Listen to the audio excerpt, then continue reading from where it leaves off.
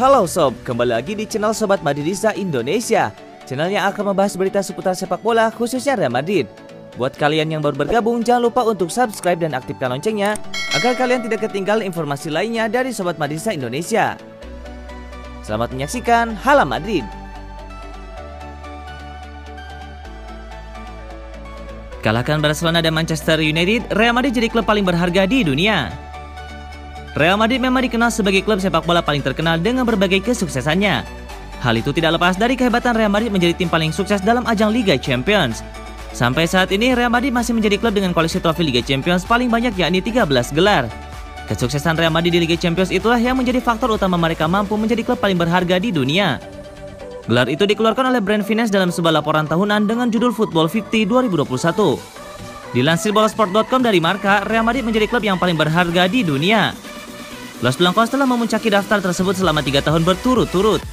Real Madrid memuncaki daftar Football 50 dengan nilai sebesar 1.276 miliar euro. Real Madrid mampu mengungguli Barcelona dan Manchester United yang berturut-turut di posisi kedua dan ketiga. Barcelona berada di posisi kedua dengan nilai 1.266 miliar euro. Sementara Manchester United di posisi ketiga dengan nilai 1.130 miliar euro. Kemampuan Real Madrid secara konsisten lolos ke Liga Champions dan pasukannya yang stabil dinilai menjadi hal utama dalam penilaian kali ini. Real Madrid mampu secara konsisten memastikan kualifikasi Liga Champions tahun demi tahun. Aliran pendapatan yang konstan dan status Liga Champions telah memainkan peran sentral dalam kesuksesan klub secara umum. Bunyi laporan Brand Finance. Selain Manchester United, ada lima klub Liga Inggris lain yang juga masuk ke dalam 10 besar. Kelima klub tersebut adalah Manchester City, Liverpool, Chelsea, Tottenham Hotspur, dan Arsenal. Sementara dua posisi lainnya diisi oleh raksasa Bundesliga Bayern Munchen dan wakil Prancis Paris Saint-Germain.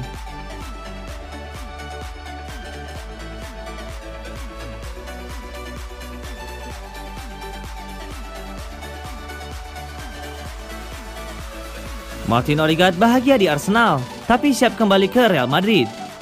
Martin Odegaard menyatakan dirinya bahagia di Arsenal, tapi menerima bahwa Real Madrid akan membuat keputusan terakhir tentang masa depannya. Sejak bergabung ke Emirates Stadium dengan status pinjaman dari Real Madrid pada bursa transfer musim dingin Januari, Odegaard tampil gemilang. Pemain asal Norwegia berusia 22 tahun itu mendapatkan kesempatan bermain secara reguler di bawah asuhan Michael Arteta. Odegaard tampil di 18 pertandingan untuk The Gunners di berbagai ajang kompetisi dengan menyumbangkan dua gol. Namun, Odegaard akan kembali ke Santiago Bernabeu di akhir musim ini ketika kontrak peminjamannya berakhir. Tidak ada opsi pembelian dalam kontrak peminjaman Odegaard di Arsenal, sehingga ia akan siap jika dipanggil ke tim utama Los Blancos untuk kompetisi musim depan. Meski Odegaard cukup puas di Arsenal untuk saat ini, namun ia mengakui bahwa Real Madrid memegang semua kartu terkait langkah dirinya ke depan. Apalagi ia masih terikat kontrak hingga tahun 2023. Saya bahagia di sini di Arsenal. Kita akan lihat setelah musim ini apa yang akan terjadi. Saya dimiliki Real Madrid, jadi kami harus berbicara dengan mereka. Penting untuk memahami apa yang mereka inginkan. Ujar Odegaard kepada Sky Jerman. Salah satu penampilan terbaik Odegaard adalah hasil imbang yang dramatis 3-3 lawan West Ham United pada 21 Maret. Usai pertandingan, Arteta memberikan komentar tentang sang pemain. Saya pikir ia memiliki performa yang luar biasa. Ia sangat cerdas dalam membaca permainan, cara dia mempengaruhi permainan, cara dia menginjak lapangan itu dan selalu menginginkan bola, cara dia memerintahkan tekanan, dia sangat berpengaruh. Saya pikir kita semua terkejut karena dia sangat pemalu dan rendah hati. Tapi ketika melangkah ke lapangan, ia adalah karakter yang nyata dan dia suka bermain sepak bola. Kata Michael Arteta, Odegaard memiliki peluang untuk menambah jumlah golnya ketika Arsenal bertandang ke markas Crystal Palace sebelum menjamu Brighton empat hari kemudian.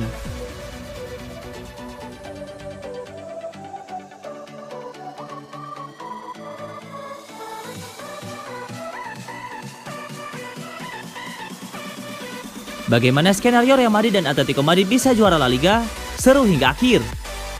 Siapa yang bakal memenangkan gelar La Liga musim ini masih belum bisa dipastikan. Atletico Madrid dan Real Madrid masih memiliki peluang yang sama besar untuk mengakhiri Liga Spanyol musim 2020-2021 sebagai yang terbaik. Tapi bagaimana skenario-nya? Penentuan gelar La Liga bakal tersaji di pekan terakhir.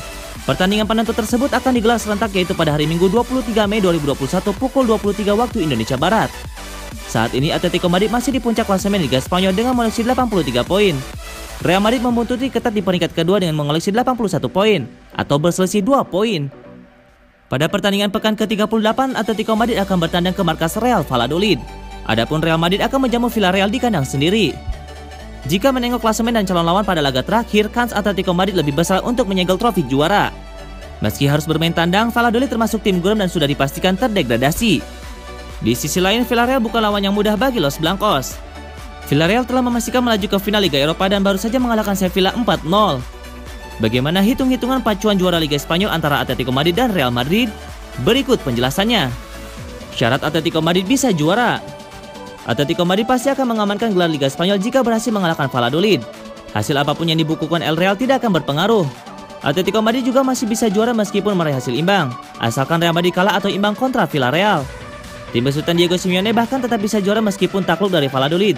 Syaratnya Los Blancos juga harus kalah dari Villarreal. Syarat Real Madrid bisa juara. Real Madrid bisa juara jika menang atas Villarreal. Namun kemenangan saja tidak cukup. Los Blancos juga harus berharap Atletico imbang atau kalah dari Valladolid. Jika Real Madrid menang dan Atletico kalah, maka El Real unggul satu poin di akhir klasemen. Jika Real Madrid menang dan Atletico seri, maka gelar milik Los Blancos. Karena kedua tim sama-sama mengumpulkan 84 poin. Tim besutan Zidane berhak menjadi kampion karena unggul head-to-head atas Atletico. Real Madrid seri 1-1 menjamu Atletico dan menang 2-1 saat bertandang ke Wanda Metropolitano.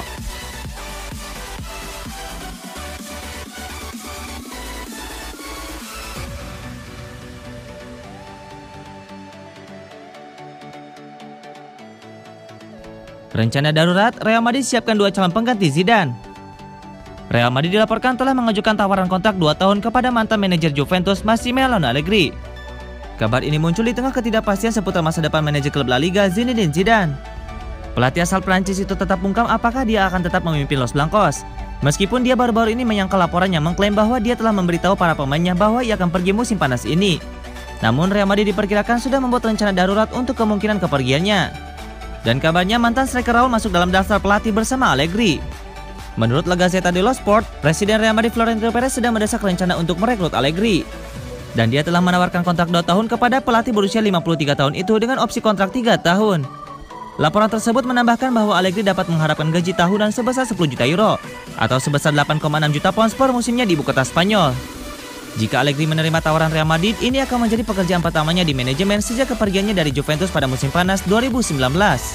Sementara itu, Sinyonya tua juga dikabarkan akan mengawasi situasi Zidane dengan tugas Andrea Pirlo di ruang istirahat jauh dari kata aman. Sebelumnya beredar kabar bahwa pelatih Real Madrid Zidane telah mengucapkan selamat tinggal kepada para pemain. Namun dia membantah kabar itu. Bagaimana mungkin saya bilang kepada para pemain saya kalau saya pergi sekarang saat kami mempertaruhkan segalanya? Saat Anda bilang sesuatu dari luar, Anda bisa bilang apa saja. Saya tidak akan bilang hal seperti itu kepada pemain saya. Ucap Zidane. Zidane mengatakan masa depannya tidak akan dibicarakan sekarang. Dia lebih suka publik untuk menunggu hingga akhir musim. Pada akhir musim kita akan lihat. Namun sekarang saya ada di Real Madrid dan saya fokus di laga terakhir. Ujar Zidane.